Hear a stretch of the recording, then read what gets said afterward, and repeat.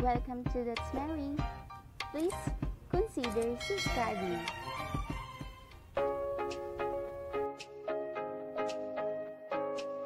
To plant a garden is to believe in tomorrow.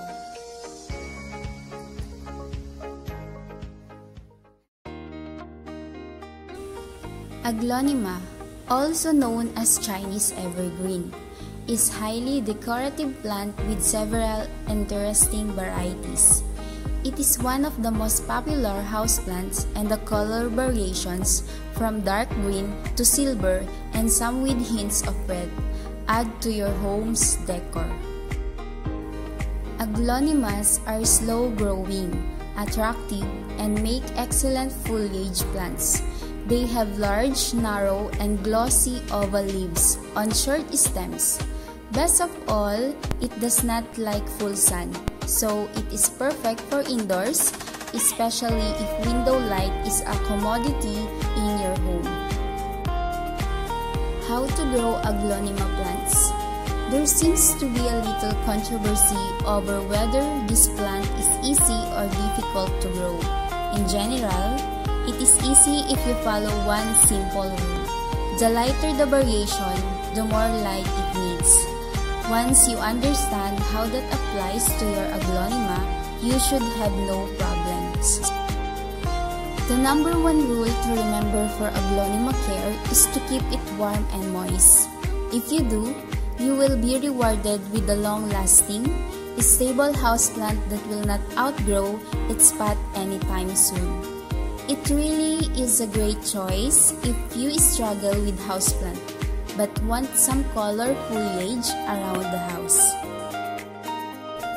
About light, the darker green varieties of aglaonema can grow in new shade, while the variegated varieties require brighter light.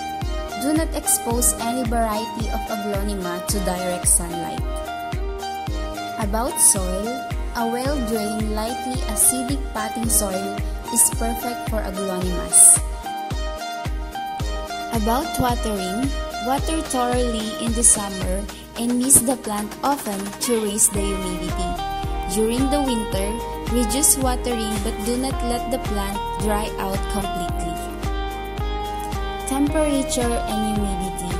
These plants do not like cold drops or temperatures below 65 degrees.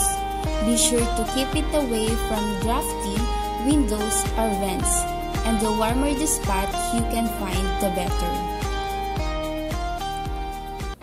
Due to its high humidity requirements, some growers consider aglaonema to be a greenhouse plant. It will do best in the warm, humid, and bright environment of a greenhouse but it can be successfully grown indoors by coming as close as possible to these conditions.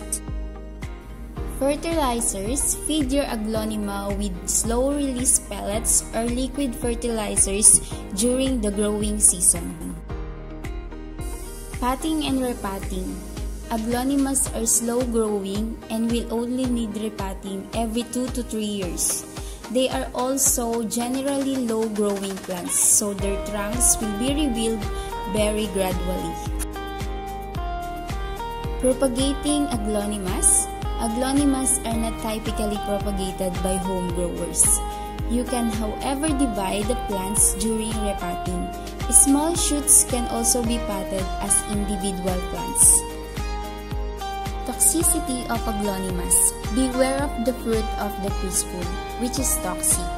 It is best to avoid this variety if you have children or pets who may be curious about its tiny, red fruits.